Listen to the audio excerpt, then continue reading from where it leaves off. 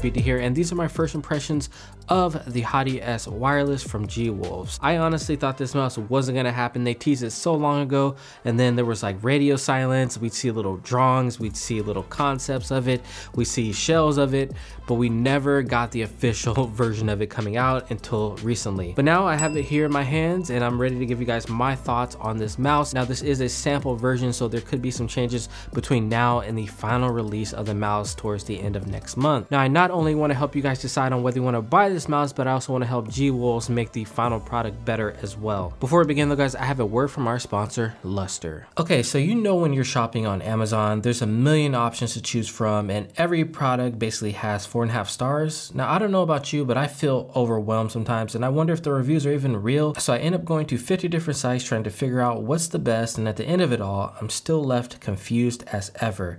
Well, Lustre can help. It's a free browser extension that analyzes trusted expert reviews from the likes of Wirecutter, YouTube videos, and even Reddit discussions, and it gives you an instant second opinion right on Amazon so you don't even have to leave the page. Lustre can even recommend you products based on your budget. It does real-time price comparisons across Amazon, Walmart, Best Buy, Target, and more, so you can always sleep easy knowing you got the lowest price possible and will even let you know when the products are going on sale. It's like the old saying goes, time is money, but with Lustre, you save both. It's free and it's so simple. So just click the link in the description, install Lustre, and let the extension do all the heavy lifting while you do your online shopping. So I'm gonna start off by trying to answer some of the questions that I've been seeing online about this mouse. How much is it gonna cost? I was curious. Well, the fine people over at X-Ray Pad told me this is gonna come in at $100 and it's gonna have free shipping. And when you look at the market right now, we have a wide variety of prices. We got the Superlight at the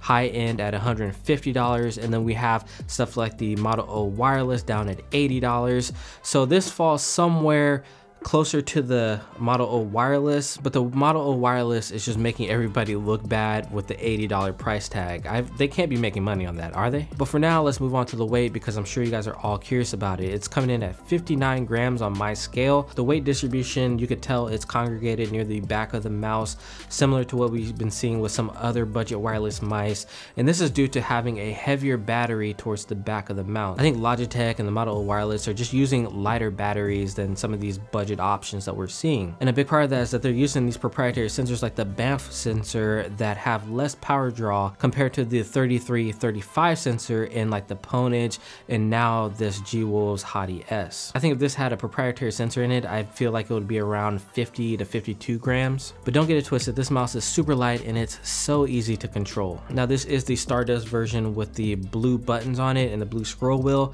but I hear when they release this uh, towards the end of next month, it's gonna be an all black version, black scroll wheel, black side buttons, all that. And the coating feels pretty good. It's a smooth coating, but it does grip to your hand very nicely. And it feels like that old Air 58 coating, if you guys have ever held one of those, that's exactly what this mouse feels like. Now also noticeably changed is now on the bottom they have the on off switch for the wireless and they have four PTFE feet on here, two at the front, one at the back, one big one.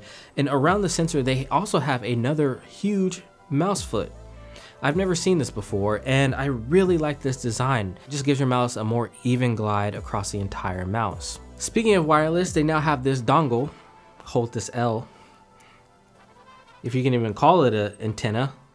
It's like a NASA type antenna. I think Elon is missing his uh, SpaceX antenna. I think this fell off of uh, his recent launch. But uh, yeah, this thing, I don't, this is just wacky to me. I don't, like,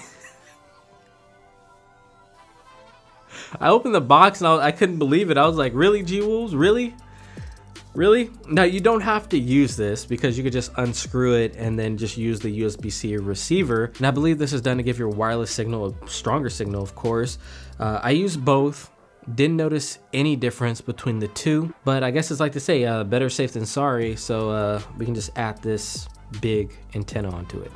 So one thing noticeably missing from the box, I don't know if they're gonna change this in the final version, is that there's no USB adapter. There's just the cable, which charges the mouse, but there's no adapter to plug in the antenna like you see with other mice. And I think this was an overstep. I hope that they put this in in the final version. That way you won't even need this. Why not just have that little adapter, plug this into the little adapter, have it on your desk so it's closer to your mouse, better signal instead of putting this. And then I realized now you have to have two USB ports.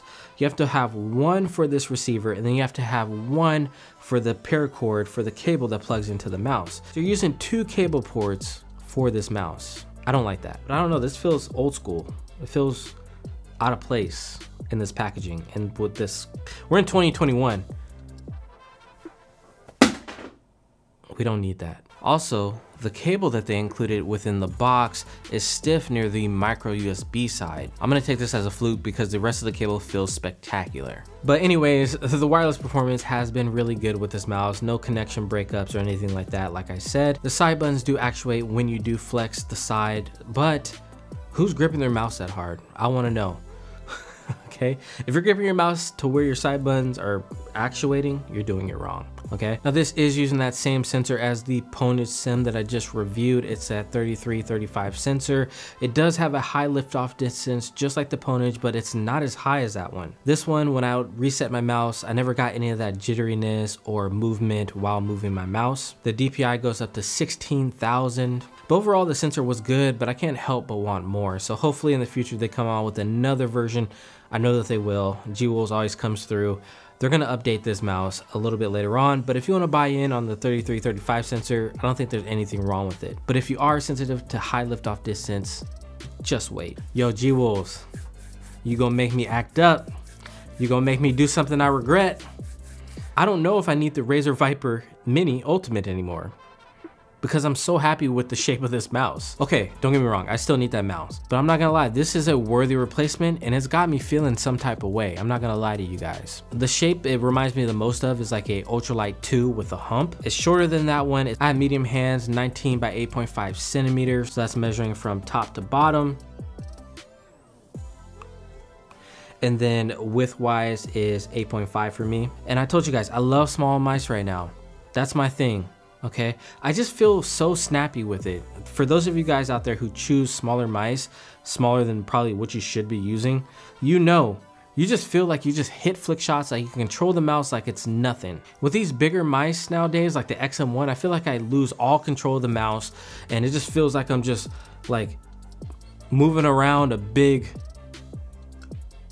I don't know, but I'm just moving around something big, okay? That came out wrong. But if you're a fan of the MM711 like I was, I didn't like how big that hump was. This is a little bit more tame, which I really like. If you love the Razer Viper Mini, you're gonna love this mouse. Especially for all you claw grip users out there and fingertip grip users, you guys are gonna love this mouse. Like I said, well, did I say this yet? Buy this mouse when it comes out, buy it.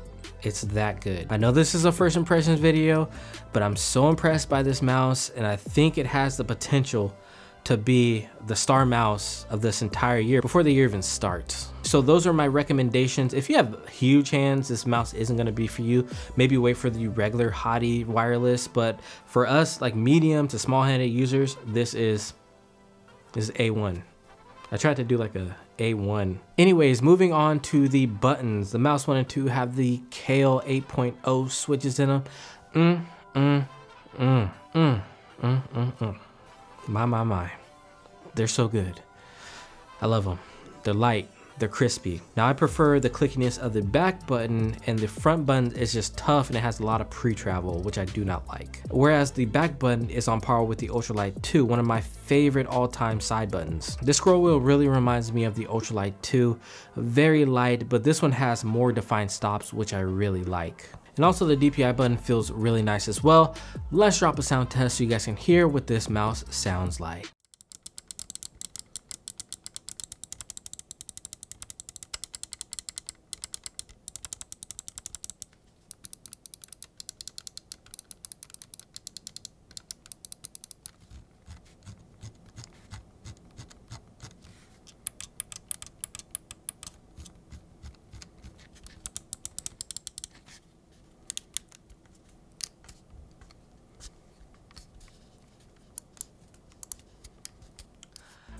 Oh yeah, the first Oh yeah of 2021, and there's no mouse more deserving than this one, the Hati-S wireless. They actually have some software now that is really responsive. You can change the DPI. You can also change the RGB on that G logo inside the mouse as well. Then they have a page for macros and things like that as well. So I'm just gonna leave you guys with this. I plugged in this mouse, did some warm up, and I started destroying with this mouse. Like absolutely destroying. I felt like I had so much control over this mouse. That's all I'm gonna say right now. Buy this mouse when it goes on pre-order later next month. $100 all right guys that's gonna do it for my first impressions of the Hati-S wireless. If you guys haven't already hit that subscribe button because I will be dropping the final version review later on well whenever I get it that's when I'll drop it. All right? All right guys. It has been your boy BT don't forget to like share comment and subscribe and I will see you in the next one. Peace